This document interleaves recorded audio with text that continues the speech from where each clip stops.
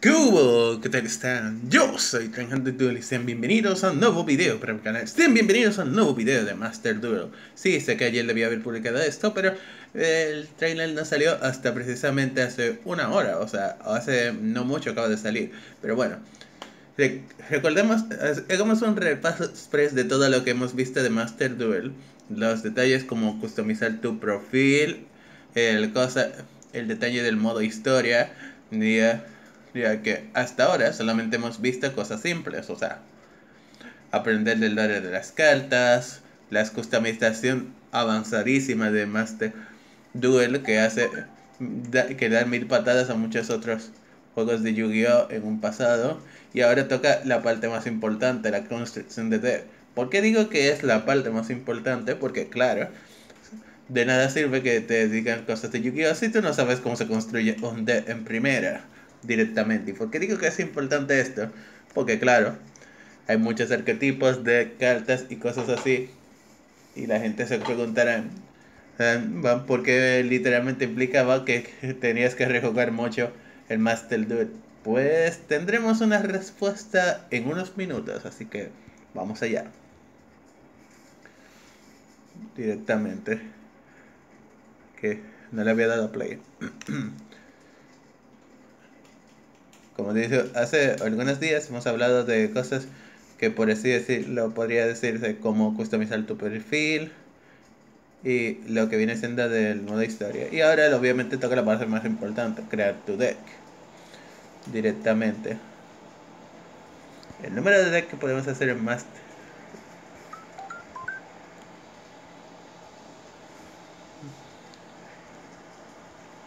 Obviamente no voy a no, no simplemente voy a publicar el video así sin más.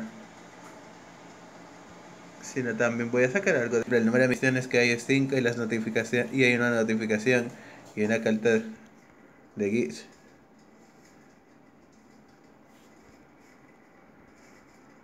Dame un minuto. Ok. Ahora. Vamos al contexto que yo quería. De la cosa que yo quería decir. Que este video va un poco deprisa. Aquí. Voy a poner pausa en este punto. El máximo de deck que podemos hacer es 20. Muchos pensarán, ¿por qué 20? Me imagino que 20 sería el número de básicos que tú podrías crear, por lo menos. Estamos diciendo que existen muchísimos de y arquetipos de Yu-Gi-Oh! O sea, cada día nuevo Konami crea un nuevo arquetipo, crea un nuevo deck, crea una nueva mecánica, crea nuevas cartas. Así que directamente decir que tenemos solamente un solo deck de, respectivamente. O si queremos hacer borren y cuenta nueva y hacer nosotros nuevo deck, eh, estamos en nuestro derecho ello. Pero solo 20 sería como un mínimo inicial. Ya después me imagino que se expandirá Obviamente como todos los juegos de Yu-Gi-Oh siempre tendremos el típico deck básico por defecto. Esto. O sea, el starting deck de cuando empezamos a jugar Yu-Gi-Oh. O también podríamos utilizar, como dije, nuestros datos de la vida real. Y obviamente ellos determinarán, nos dejarán, nos darán el deck cosa básico y me imagino que podríamos incluso customizar nuestro deck. Por ejemplo, aquí muestra, por ejemplo, que tiene el deck básico, un deck central del dragón blanco de ojos azules y uno llamado Synchro Unity, que tiene algunas de las cartas más básicas, por ejemplo el Flamber, John Warrior y cosa, y el Colossal Fighter.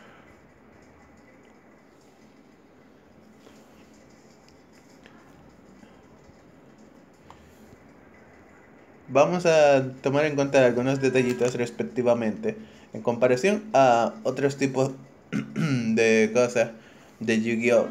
Por ejemplo, voy a tomar en cuenta aquí más el Dueling Pro y el Edo Pro y cualquier otro ejemplo. Tenemos la típica opción de Talon D, pero aquí hay detalles que son diferentes a esos juegos. Por ejemplo, el primero, cambiar accesorios no existe en los juegos de Yu-Gi-Oh! Incluso los de PC tienen esa carencia, o sea, si notas tú, en los juegos de PC literalmente hay detalles que siempre se dejan olvidados de lado, que esos son los playmat, los slit, los... El factor de que, por así decirlo, el, el de bots, la ilustración de fondo o incluso o incluso la plataforma para tu compañero. Lo de ver la estructura, copiarla y eliminar de eso es algo básico en, por ejemplo, en todos los en todos los que incluyen la palabra pro, o sea, Edo Pro, Dual Pro, derivado, incluso en Dual Nexus o en Dual Network que existió en un pasado. Que de hecho la razón por la que tiraron Dual Network era por esa misma razón, pero el Dual Network era, por así decirlo, muy flojo en muchas acciones. Por ejemplo, tener cover y cosas así, a no ser que fueras un profesional, lo veías difícil directamente. Y aquí tenemos una demostración de eso mismo que acabo de mencionar anteriormente. O sea, en este, en este por así decirlo, el Master Duel han querido irse un poquito más a lo bestia, quitar todas las cosas que por así decirlo, los juegos que tenían, que existían, que habían sido creados por la comunidad de Yu-Gi-Oh!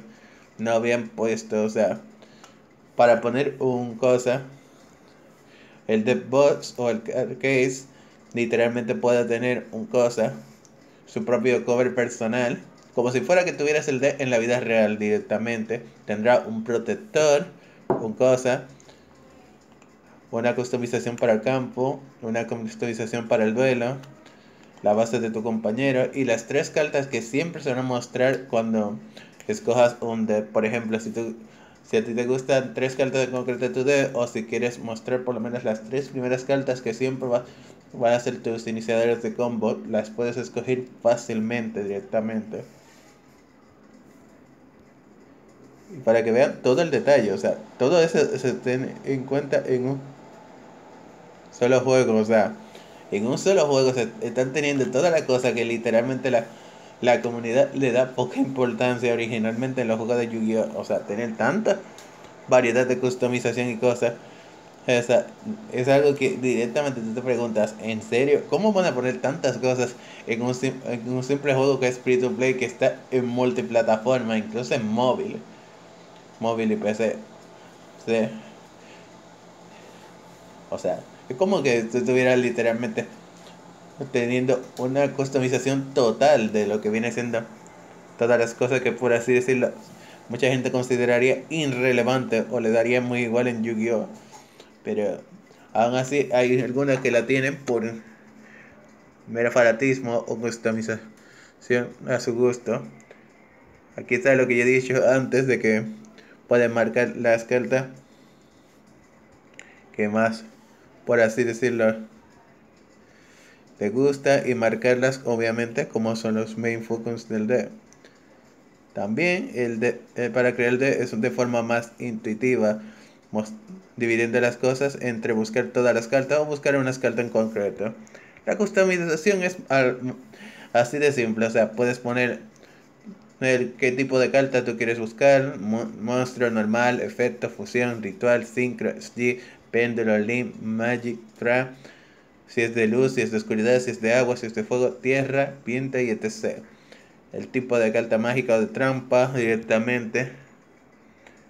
Gente y hasta los tipos del, del monstruo que tú buscas.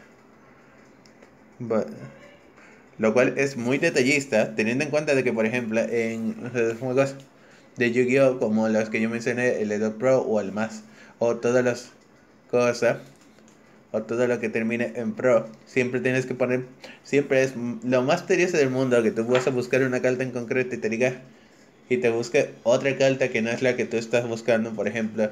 A mí me ha pasado que muchos de esos simuladores, intentando buscar un solo tipo de arquetipo, me terminan poniendo otro arquetipo que no es el que estoy buscando. Ando directamente solo por escribir el nombre del arquetipo directamente en estos simuladores, pero al poner esto, directamente tú puedes decir, tú puedes poner cualquier carta y te la muestran, literalmente la carta sin importar qué tan raro o difícil sea de conseguir la carta. Pero en caso de que seas de los típicos vagos que digan, oh no, no, esto es un juego pay to win por no tener opciones o no tener ni siquiera o no dejarme poder escoger el deck que yo quiero directamente, pues Hello.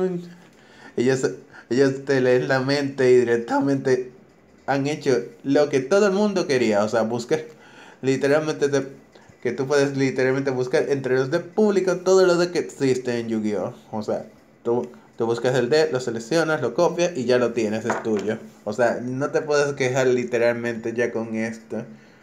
Porque si te dan todos los decks así en bandeja de plata directamente, no puedes quejarte. Porque está en la sección de, público, o sea, que se pueden coger sin tener que molestarte literalmente. Hasta te menciona el número de cartas que tienes, sea estándar o si quieres copiar el de entero directamente. O sea, es tan sencillo como, por ejemplo, que tú puedes buscar una customización para ver cuáles son los mejores de e incluso te están poniendo aquí un ejemplo que puedes ver los de que mejor quedaron en los campeonatos de Yu-Gi-Oh! O sea, más sencillo de eso no te lo pueden poner. O sea, te están diciendo incluso que hasta puedes buscar los de que quedaron en primer lugar en un campeonato de Yu-Gi-Oh! O sea que, en teoría, si hasta ese tipo de detalles te lo permiten hacer no te puedes quedar literalmente con el típico detalle de quejarte de eso. Por otro lado, hay otro detalle que te mencionan, por ejemplo, si por ejemplo te falta una carta en concreto, te dicen que por ejemplo, cuánto puede ser, ser que necesites para conseguir dicha carta. Por ejemplo, aquí ponen el ejemplo del Sengenji, un monstruo de nivel 8, te dicen, por ejemplo, dónde lo tendrás, o sea, te dicen que, por ejemplo, si esta carta, si tú quieres esta carta Sengenji o cualquier otra, te tú puedes buscar el pad o el cosa o el, o el sobre donde sale y en estos sobre donde salga directamente tú vas y buscas la carta respectivamente en caso de que tú tengas muchos puntos para conseguir la carta, carta respectiva. En el caso de que tú quieras hacerte un deck propio con esa carta en concreto que, no, que te falta, en el caso de que tú pierdas las cartas, la puedes generar crafteando. O sea, si tú crafteas, por ejemplo, aquí te ponen que para si tú tienes 90 de una carta, si tú tienes 90 puntos de la carta rara, Tú solamente necesitas pagar 30 y ya crafteas una, una, por así decirlo, rara. O sea, literalmente te dicen cuántos puntos te necesitas para craftear y si cuántos te recibirías si desmantelas la misma carta. O sea, tú desmantelas una carta que tú no quieras y crafteas una carta que tú quieres. O sea, así de fácil y sencillo. Y. O sea, con este tipo de cosas no, tú no te puedes quejar porque directamente estamos diciendo lo que tú puedes que que entre más rara o mayor mejor sea la carta que tú quieras mejor, más recursos va a tener que craftear y si quieres de rareza más rarísima. O sea la idea de poder por ejemplo craftear o generar cartas que tú quieras literalmente teniendo de base que por ejemplo que tú has conseguido cartas de rayos raras o que por ejemplo son cartas tan simples comunes que literalmente te, te preguntas cómo es posible que no las tenga o las usen en un deck. Se me hace curioso pero siento yo que por ejemplo cuando sean cartas más raras más difíciles lo mejor sería formarte o copiar ese deck y después si tú quieres formarte tú tu propio deck con esas cartas será más un poco más complicado tener de base de que conseguirlas tú mismo va a ser un poco más difícil. Pero aún así tiene su gracia porque puedes copiar, hacer tu D, expandir tu D, modificar el D y otro tipo de detalles. Acerca de la interfaz o detalles más específicos de, por así decirlo,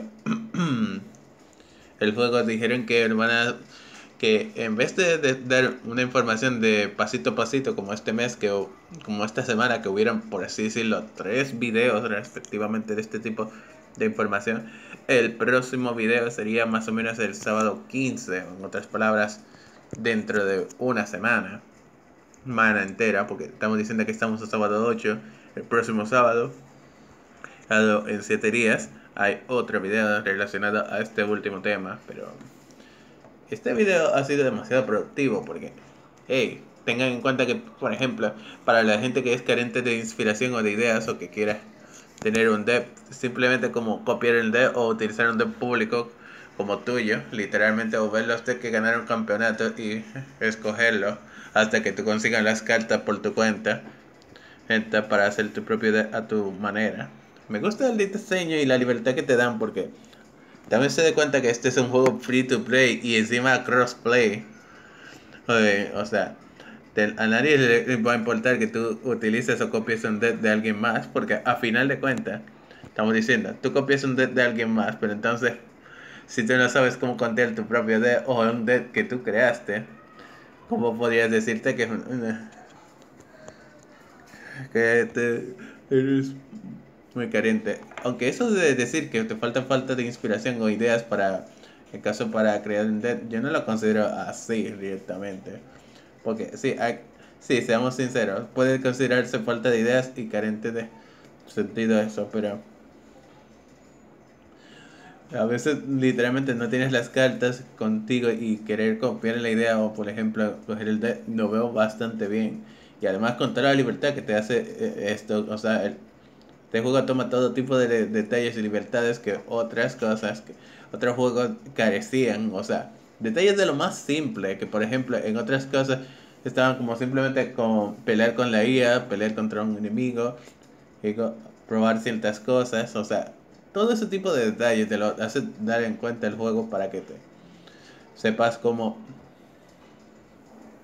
que incluso aunque ganes o pierdas podrás aprender algo de un error tuyo respectivamente o claro de combos que tú mismo formulaste durante un duelo.